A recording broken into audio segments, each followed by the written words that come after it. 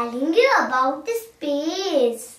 Last night I saw a dream where I was an astronaut and I was in space. There I saw that the space looked like as a black blanket dotted with the stars. Space is completely silent which means no sound. Then I saw the solar system, where I saw the sun. It was very big and hot. Then I saw the eight planets. Mercury. Mercury is the smallest planet. Venus. Venus is the hottest planet.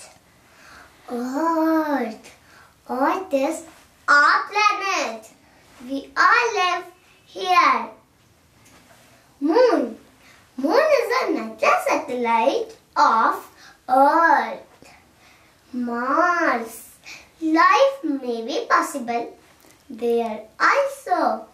Jupiter. Jupiter is the largest planet. Saturn. It has a ring around it.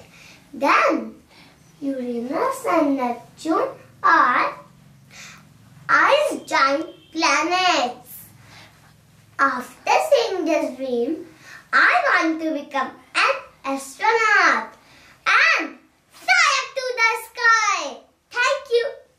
Please like and subscribe my video. Thank you.